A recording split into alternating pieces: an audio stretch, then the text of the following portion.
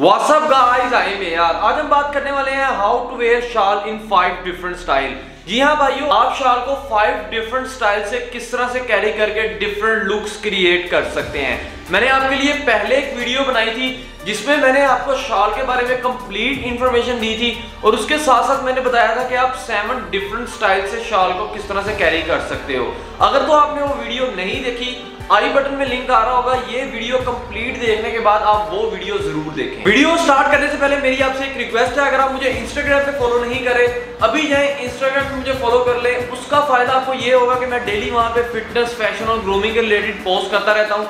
जिससे आपको बहुत ज़्यादा हेल्प होगी। लिंक आपको डिस्क्रिप्शन में मिल जाएगा। Alright guys look number one की बात करते हैं। लुक नंबर वन में आपने अपनी शॉल को इस तरह से ओपन कर लेना है। ओपन करने के बाद आपने इस तरह से इसको बैक पे लेके जाना है। बैक पे लेके जाने के बाद एक साइड आपने अपनी बाजू पे रख लेनी है इस तरीके से। एक साइड बाजू पे रखने के बाद आपने जो दूसरी साइड है, उसकी लेंथ थोड़ी सी लंबी रखनी है। उसकी लेंथ लंबी रखने के बाद आप इसको शोल्डर पे लेके आएँगे। शोल्डर पे लेके आने के बाद आप इस तरीके से इसको ऊपर कर लेंगे। आप इस तरीके से भी इसको कैरी कर सकते हैं और आप अपनी शाल को थोड़ा सा ओपन करके भी इसको कैरी कर सकते हैं इस तरीके से। इस तरह से भी आप कैरी कर सकते हैं। बट मेक श्योर आपने इसको ज़्यादा ऊपर नहीं करना। अगर आप इसको ज़्यादा ऊपर करेंगे तो ये इतनी ज़्यादा अच्छी नहीं लगेगी। इसलिए आपने इसको थोड़ा सा नीचे रखना है इस तरीके से। इस तरीके से आप इसको कैरी कर सकते हैं।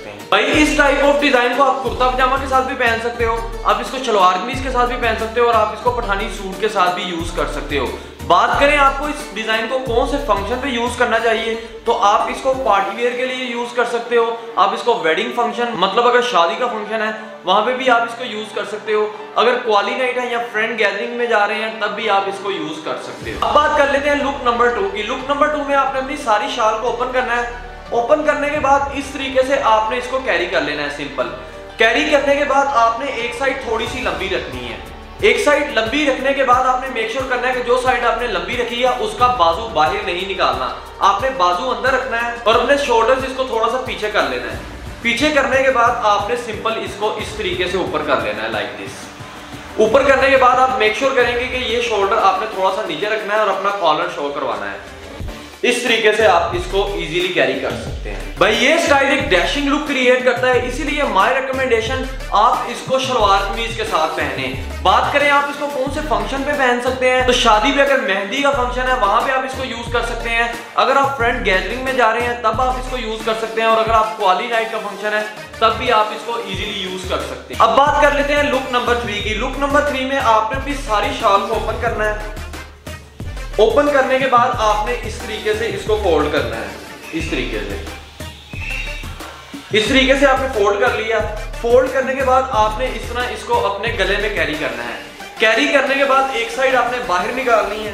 बाहर निकालने के बाद आपने सिंपल इसको इस तरीके से ऊपर कर लेना है। ऊपर करने के बाद आप इसको थोड़ा सा एडजस्ट कर लीजिएगा इस तरीके से। एक इसे मिलता जुलता स्टाइल मैंने आपको पहली वीडियो में भी बताया था बट उस वीडियो में आप अपनी शाल को प्रॉपर तरीके से फोल्ड करते हो बट इसमें आपको अपनी शाल को फोल्ड नहीं करना। आपने इसको थोड़ा सा ओपन रखना है इस तरीके से। वो डिज़ाइन थोड़ा सा फॉर्मल लुक क्रिएट करता था, जिसको आप फॉर्मल इवेंट्स या फॉर्मल फ़ंक्शंस में पहन सकते हो। बट ये एक कैजुअल लुक क्रिएट कर रहा है, जिसको आप फॉर्मल इवेंट या फ़ंक्शन में भी पहन सकते हो कैजुअल तरीके से भी पहन सकते हो, और आप इसको नॉर्मल रूटीन में यूज़ करना चाहते हो, तब भी आप इसको पहन सकते हो। बात करें आप इस स्टाइल को किस आउटफिट के साथ कैरी कर सकते हैं तो आप इसको किसी भी आउटफिट के साथ कैरी कर सकते हैं like shalwar kameez, kurta, pyjama and Pathani suit अब बात करते हैं लुक नंबर फोर की। लुक नंबर फोर में आपने अपनी सारी शॉल को ओपन करने के बाद इस तरीके से फोल्ड कर लेना है। फोल्ड करने के बाद आपने इसको अपनी बैक साइड पे लेके जाना है। बैक साइड पे लेके जाने के बाद आपने अपने दोनों बाजू बाहर निकाल लेने इस तरीके से। बाहर निकालने के बाद आपने मेक श्योर करना है कि आपके शॉल की दोनों साइड्स इक्वल रहनी चाहिए। इस तरह नहीं होना चाहिए कि एक साइड बड़ी हो और एक साइड छोटी हो। दोनों साइड्स इक्वल करने के बाद आप इसको अपने शोल्डर पे ऐड कर लेंगे। शोल्डर पे ऐड करने के बाद आपने देखना है कि आपकी दोनों साइड सेम होनी चाहिए। आप इसको अपने तरीके से एडजस्ट कर लीजिएगा। ये डिज़ाइन मैं आपको रेकमेंड करूँगा कि आप कुर्ता पजामा के साथ पहनो। अगर आप कुर्ता पजामा के साथ ये स्टाइल पहनोगे तो आपकी लुक बहुत ज़्यादा डिसेंट और स्टाइलिश लगेगी। बात करें आपको इसको कौन से फ़ंक्शन पे पहनना चाहिए तो आप इसको किसी भी कैजुअल फ़ंक्शन कैजुअल पार्टी और फ्रेंड गैदरिंग में यूज़ कर सकते हैं। अब बात करते हैं लुक नंबर फाइव की। लुक नंबर फाइव में आपने अपनी सारी शाल को ओपन करना है। इस तरीके से ओपन कर लेना है। ओपन करने के बाद आपने इसको सिंपल अपने शोल्डर पे इस तरीके से कैरी करना है। शोल्डर पे कैरी करने के बाद आपने एक साइड इसकी थोड़ी सी लंबी रखनी है। थोड़ी सी साइड लंबी रखने के बाद आपने अपना बाजू बाहर निकाल लेना है। बाजू बाहर निकालने के बाद जो साइड आपने लंबी रखी है, उसको अपने शोल्डर पे ऐड कर लेंगे इस तरीके से।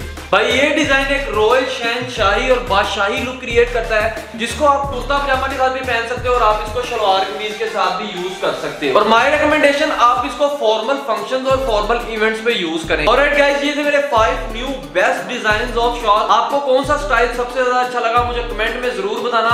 साथ वीडियो को लाइक ज़रूर कर देना। अगर आपको शलवार कमीज के लेटेस्ट डिज़ाइन के बारे में जानना है तो आप इस वीडियो पे क्लिक कर सकते हैं। और अगर आपको कुर्ता पजामा या शलवार कमीज स्टिच करवानी है तो आप ये वीडियो देख सकते हैं। अगर आपने अभी तक चैनल को सब्सक्राइब नहीं किया तो चैनल को सब्सक्राइब करके साथ बेल आइकन को ज़रूर प्रेस कर लीजिएगा, ताकि लेटेस्ट आने वाली वीडियोस आप तक पहले पहुँचे। I wish you look good take care